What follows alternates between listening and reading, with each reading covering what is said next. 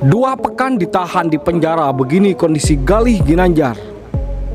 Dilansir Brilliant.net. Tersangka kasus video ikan asin Galih Ginanjar saat ini tengah ditahan di Polda Metro Jaya. Sekitar dua pekan ditahan, sang istri Berbi Kumalasari mengungkapkan kondisi terkini Galih. Menurut Kumalasari, suaminya tersebut mengalami perubahan fisik maupun rohani selama dalam masa tahanan.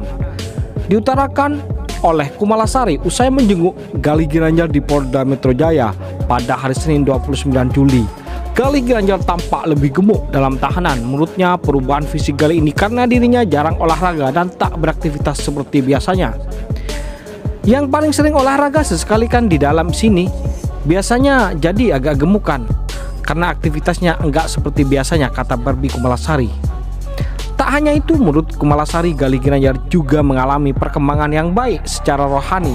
Mantan suami Virus Arafik tersebut disebutkan kini menjadi lebih religius.